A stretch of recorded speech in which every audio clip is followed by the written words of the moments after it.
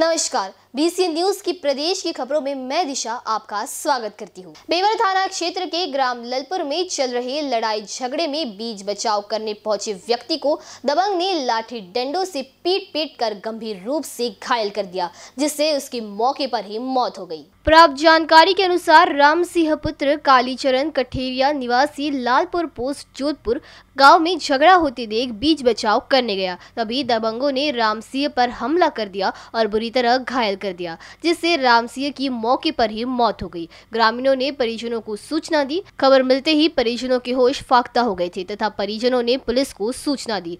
सूचना मिलते ही मौके पर बेबर थाने के प्रभारी निरीक्षक मैं पुलिस बल के साथ मौके पर पहुँची। पुलिस शव का पंचनामा भर पोस्टमार्टम के लिए जिला अस्पताल भेज दिया। परिजनों का रो रो कर बुरा हाल। जनपद मैनपुरी से मोहम्मद आसिफ की report BC news Nagpur. Firozabad थाना रसलपुर क्षेत्र, जाटवपुरी चौराहे और बने नए पुल पर एक व्यक्ति द्वारा पुल के ऊपर चढ़कर हाई वोल्टेज ड्रामा किया गया। इस दौरान मौके पर थाना पुलिस भी पहुँच गई। फ़िलहाल काफ़ी मशक्कत के बाद उस व्यक्ति को पुल से नीचे उतार लिया गया। बाकी बताया गया उसके गले में रस्सी भी थी। अब उसे पुलिस अपने साथ ले गई। उससे इन सब ड्रामे के पीछे का कारण जानने का प्रयास किया जा रहा है। मौके पर काफ़ी संख्या में भीड़ एकत्रित हो गई थी। यह मामला लोग लोगों के बीच काफ़ी चर्चा में बन रहा। स्थानीय लोगों द्वारा उसके साथ मारपीट भी की गई। पुलिसकर्मी उसे बचाते दिखे। बीसीएन न्यूज़ के लिए फिरोजाबाद से रिपोर्टर रिहान अली की रिपोर्ट। थाना डिबाई पुलिस द्वारा एक अभियुक्त मोन्टी को चोरी की मोटरसाइकिल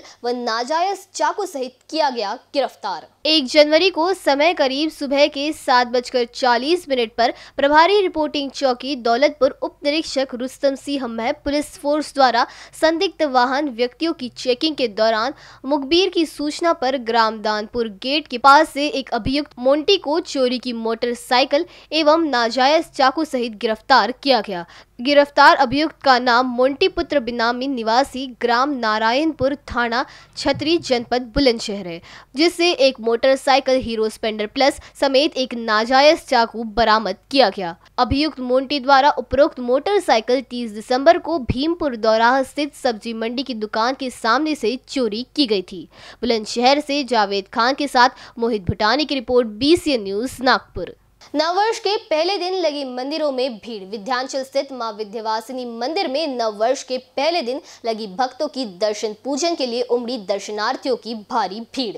मिर्जापुर के विध्यांचल में स्थित माँ विद्यावासिनी मंदिर में भक्तों की भारी भीड़ नए साल के पहले दिन दर्शन पूजन के लिए उमड़ी। सुबह मंगला आरती के बाद मंदिर का कपाट आम भक्तों के लिए खोला गया। बड़ी संख्या में भक्त दर्शन पूजन के लिए उमड़ पड़े। नए साल के पहले दिन हर कोई साल की शुरुआत माँ के दर्शन पूजन के साथ करना चाहता था। इसलिए मंदिर में भारी भीड़ सुबह से ही भीड़ लगी हुई थी। दूर दूर से दर्शन पूजन के लिए आए भक्तों का कहना था कि बीता साल बहुत अच्छा नहीं गया। माँ का दर्शन पूजन कर कामना किया आने वाला साल अच्छे से बीते, इसलिए माँ के आशीर्वाद से साल की शुरुआत कर रहा हूँ। मिर्जापुर से अजय दुबे की report BC news Nagpur. BC news की प्रदेश की खबरों में फ़िलहाल इतना ही। ऐसी अन्य और खबरों से जुड़े रहने के लिए देखते रहिए बीसी न्यूज़ नमस्कार।